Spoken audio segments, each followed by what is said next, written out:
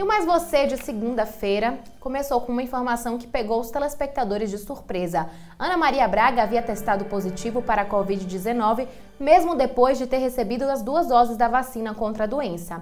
Mas por que isso aconteceu? Tem a ver com o imunizante que a apresentadora recebeu? Ela não estava totalmente protegida? O Notícias da TV conversou com um infectologista para responder a essas questões.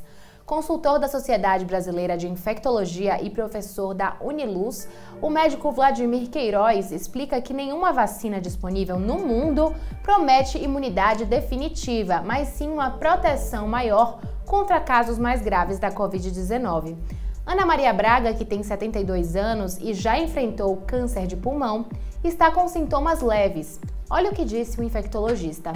Todas as vacinas, as de todos os outros países também, não prometem a imunidade definitiva contra a doença. Nenhuma vacina promete isso. Tudo o que as vacinas prometem é que se você pegar a doença, você desenvolverá formas clínicas mais brandas.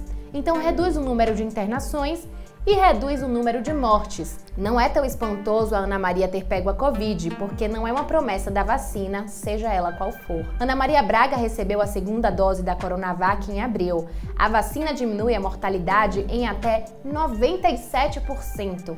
Em um estudo feito na cidade de Serrana, no interior de São Paulo, 95% da população adulta foi vacinada, o que derrubou em 95% o número de óbitos, reduziu em 86% as internações e em 80% os casos sintomáticos.